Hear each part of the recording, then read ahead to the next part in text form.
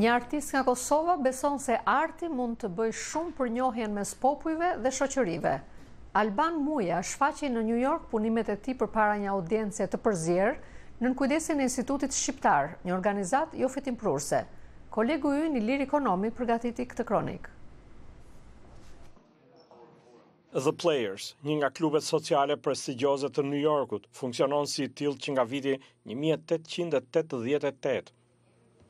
Në këtë vilë ku njerëzit bisedojnë për letërsinë, pikturën dhe muzikën, sonte është radha e një shqiptari nga Kosova për të paraqitur punimet e tij. Alban Muja është artist pamor dhe vjen nga Prishtina. Punimet e mia kryesisht përfshijnë një grup mediumeve ndryshme, mediumeve të arteve vizuele, nga vizatimi, piktura deri te video dhe filmi. Albani paraqet sonte krijimtarinë e tij të 10 viteve të fundit. Ai beson se kjo është një mundësi për ta njohur publikun amerikan me artin e Kosovës në tërësi. Shumica e punimeve të Albanit kanë temë nga Kosova, Ai provon të trajtojë tranzicionin politik në Kosovë, por në formën e artit dhe i papenguar nga ideologjia.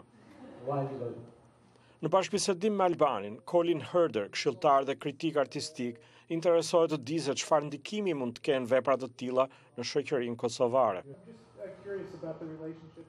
Albani tregon me prova se syri i tij prej artisti depërton në problemet që ka shoqëria, edhe pse syri i zakonshëm e ka të vështirë t'i dallojë,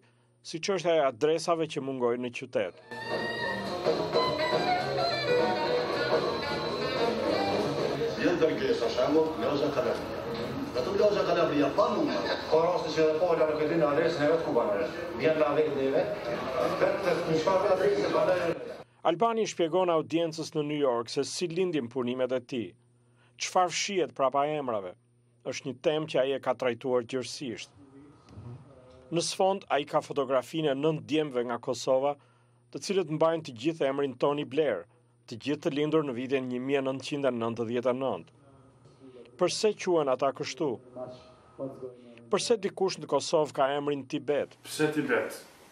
Po, emri im e ka një një histori. Është një tjetër punim i tij, kur nëpërmjet emrit, Sjell një botë të tërë ndjenjash dhe mendimesh. Qasja e Albanit është prezantimi i shtetit të ri të Kosovës me anë të artit të kapshëm nga të gjithë, edhe nga këta fëmijë të vegjël. Është arti i një vendi që nuk njihet shumë, por që mund të promovohet, nëse ekziston dëshira e mirë. Dearta Fusaro është menaxhere programesh në Institutin Shqiptar të New Yorkut.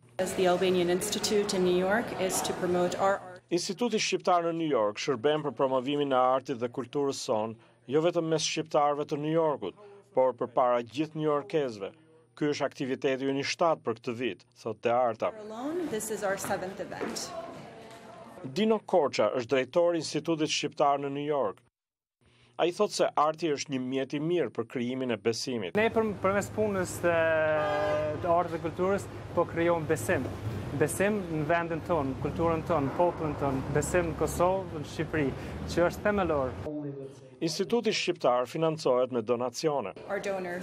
Ne financohemi nga donatorë, njerëz që janë të interesuar për artet, që reklamojnë kulturën dhe artin shqiptar në New York, pavarësisht se mund të jenë shqiptarë ose të tjerë. Ne kemi tani një përzierje interesante donatorësh, shpjegon Dearta. Dino Korça është edhe president i Institutit Kombëtar të Kulturës për New Yorkun, që administrohet nga Bashkimi Evropian.